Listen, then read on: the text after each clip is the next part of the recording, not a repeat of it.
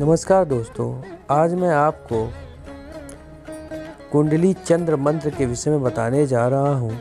जिस व्यक्ति की कुंडली में चंद्रमा नीच का होता है, अर्थात चंद्रमा कमज़ोर होता है, उस व्यक्ति के घर में ग्रह कलेश समांतर बनी रहती है और मानसिक पीड़ा भी उत्पन्न होती है।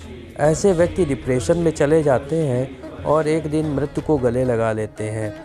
चंद्रमा से पीड़ित व्यक्ति को कभी सफलता नहीं मिलती और वह मानसिक विकारों से घिरा रहता है।